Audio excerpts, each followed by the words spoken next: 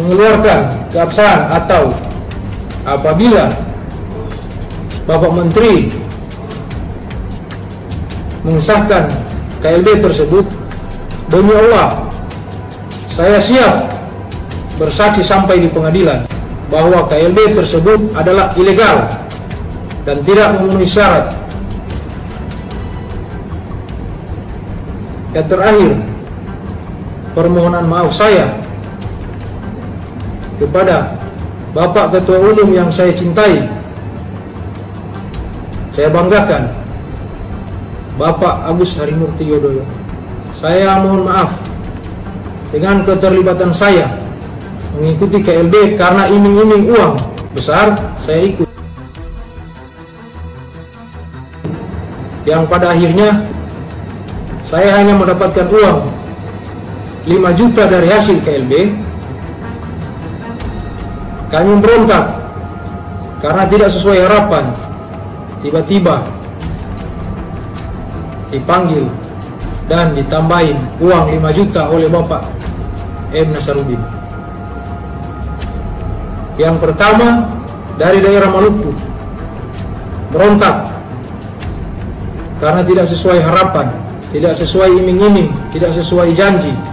Dengan terlaksananya KLB akan mendapatkan sekian uang. Pada akhirnya cuma dapat 5 juta. Yang kedua, dari Papua. Mereka melakukan lagi pemberontakan. Tiba-tiba diamankan juga oleh Pak Nasarudin. Begitu juga dari daerah lain. Yang terakhir itu dari Sulawesi Utara. Salah satunya saya. Saya tidak terima sama sekali.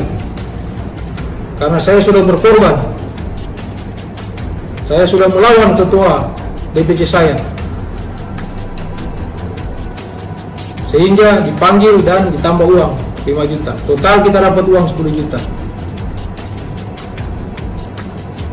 Jadi yang kedua saya mohon maaf dengan keterlibatan saya ini kepada ketua DPD saya Bapak Mor Bastian mohon maaf dengan keterlibatan saya karena itu Pak saya diiming-iming uang yang paling terakhir saya merasa bersalah dan saya merasa menyesal sudah mengikuti kongres luar biasa ini tanpa seizin ketua DPC saya yang begitu saya hormati, begitu saya banggakan.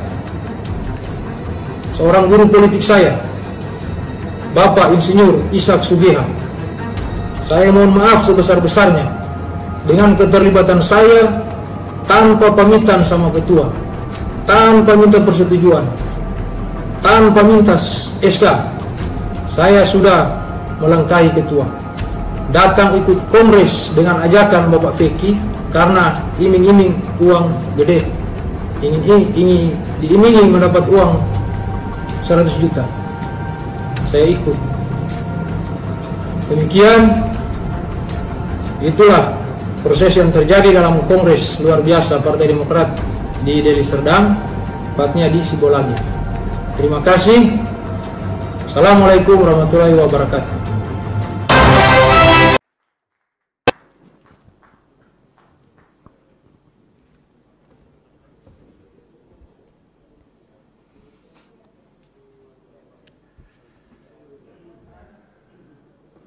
Sudah jelas ya?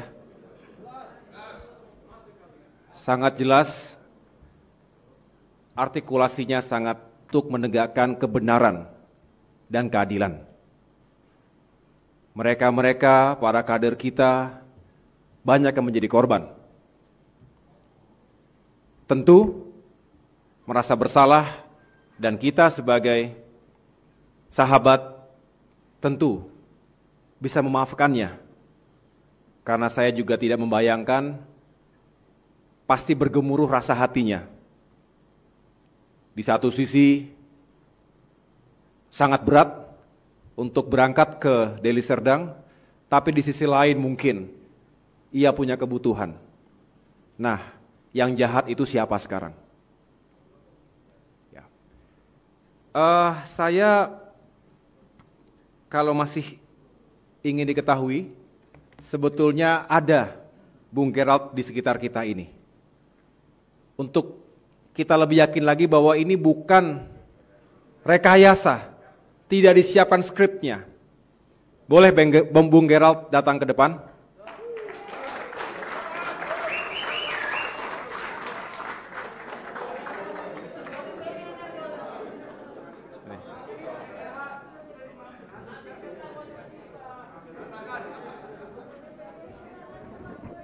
Ada juga sebetulnya satu orang lagi di sini, namanya Bung Rahman Dontili, mantan Ketua DPC Bolaang Mongondo Utara. Ini juga kemarin sudah menyampaikan testimoni.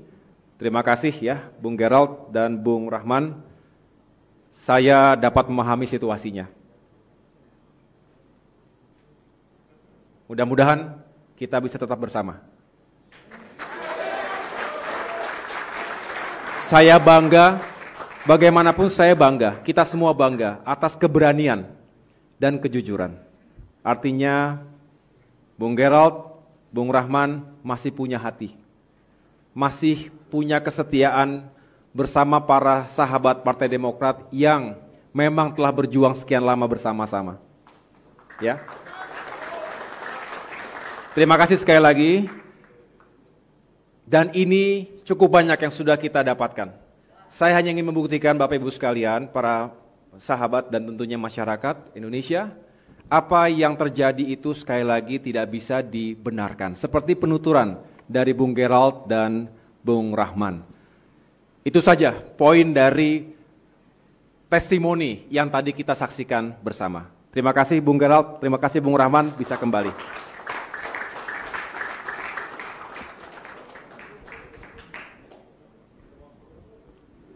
Langsung minta maaf kepada ketua DPD-nya.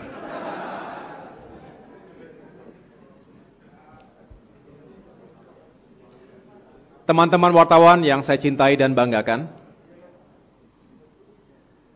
dengan testimoni yang tadi kita saksikan bersama, saya ingin mengajak kita semua untuk melakukan sebuah refleksi kebangsaan. Bangsa kita adalah bangsa yang besar masyarakat yang berbudaya tinggi dengan nilai-nilai yang luhur, ramah tamah, sopan dan santun, juga dengan dilandasi oleh nilai-nilai agama dan etika. Itulah yang menjadi warisan budaya kita sesungguhnya. Sebagai bangsa yang besar, kita memiliki potensi untuk menjadi negara yang besar dan maju. Untuk menjadi negara yang besar dan maju itu, tidak mungkin bisa dicapai dengan proses yang sesaat dan waktu yang singkat. Untuk itu membutuhkan proses, baik waktu dan kerja keras, keringat, bahkan darah dan air mata. Untuk mencapai tujuan besar itu, yang dibangun dengan moral dan etika. Bukan dengan jalan pintas, apalagi menghalalkan segala cara, baik menggunakan kekuatan uang maupun menggunakan elemen kekuasaan. Hari ini sebagaimana kita saksikan dalam testimoni peserta kongres ilegal tersebut, kita disajikan oleh suguhan praktik-praktik politik yang tidak fair.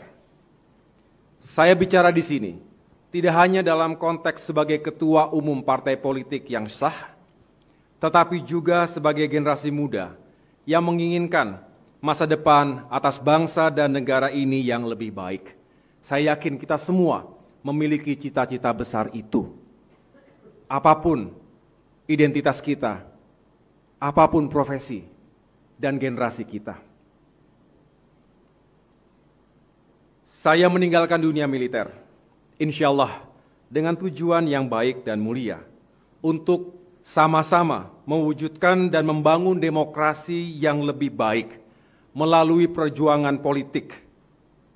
Bagi saya, seperti yang dikatakan Bung Leimena, sebagai salah satu pendiri bangsa, politik seharusnya adalah etika untuk mengabdi, bukan semata-mata cara untuk berkuasa.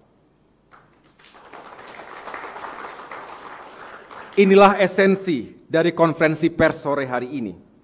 Saya ingin membawa pesan demokrasi yang sehat dan juga nilai-nilai fairness. Kita tidak bisa lagi berkompetisi dengan cara-cara yang tidak fair dan tidak sehat. Karena kompetisi yang tidak fair dan tidak sehat itulah yang mengurunkan mengurungkan niat putra-putri terbaik bangsa untuk masuk dalam gelanggang politik.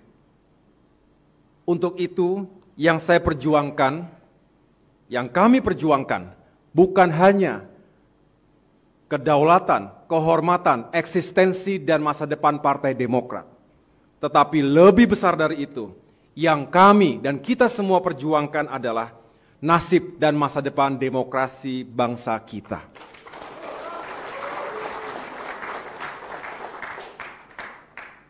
Terhadap KSP Muldoko. Secara pribadi, saya tidak ada masalah dengan beliau. Tapi jujur, yang membuat saya kecewa, karena suka atau tidak suka, beliau terlibat dalam gerakan pengambil alihan kepemimpinan Partai Demokrat. Tetapi sebagai manusia biasa, tentu kita semua ada kurang dan salah salahnya. Untuk itu, apabila beliau menyadari kekeliruannya, saya pribadi tentu memaafkannya.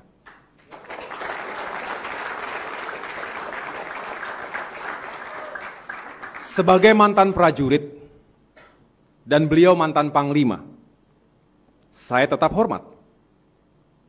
Itulah tradisi keprajuritan yang kami junjung tinggi di militer. Once a soldier, always a soldier. Tetapi kami bermohon kebesaran hati untuk bisa menyadari bahwa apa yang telah terjadi dan apa yang dilakukannya memang telah menyakiti ratusan ribu, bahkan jutaan kader dan simpatisan Partai Demokrat.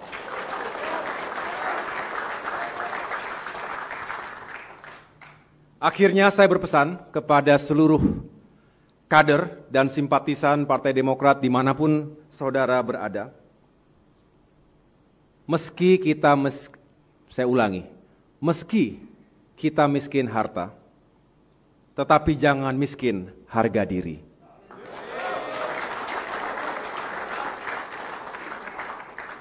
Hiduplah dengan landasan ilmu dan nilai-nilai etika serta moralitas. Karena dengan landasan-landasan itulah insya Allah negara kita akan semakin besar dan maju. Demokrat ingin menjadi bagian dari itu. Terima kasih, kurang lebihnya saya mohon maaf. Wassalamualaikum warahmatullahi wabarakatuh.